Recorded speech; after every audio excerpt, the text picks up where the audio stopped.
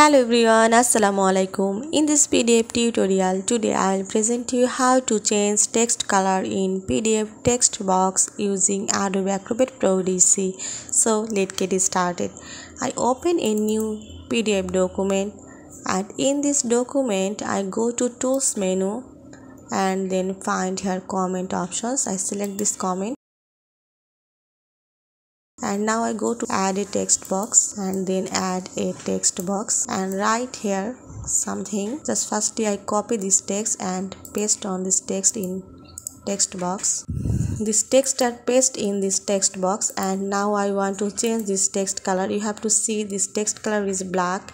So firstly I select all of this text you have to press ctrl A to select all this text and then go to here text color you select font color here. Just see this font color is red.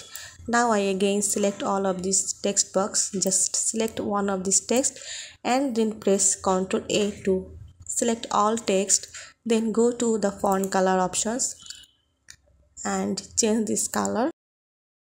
Also you have to change this text sizes and also change font style and also alignment. Just close on this and then move this text box. Now go to file menu and save this pdf file. So viewers now you can change text color in text box. So i hope you'll enjoy this video. Thanks for watching and don't forget to subscribe my channel. Thank you